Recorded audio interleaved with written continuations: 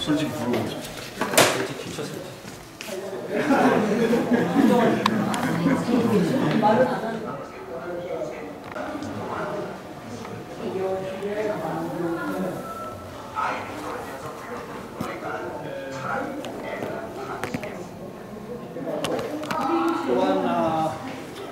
의 박사는 의료기술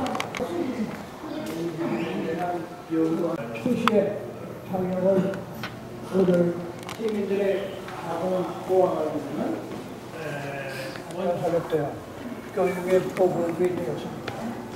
그 다음에 이제 그러면 아, 일본어 만으로 공- 공부를 가르치기를 어? 한국어는 모시겠습니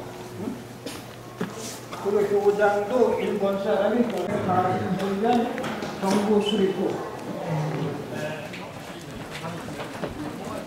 Yeah.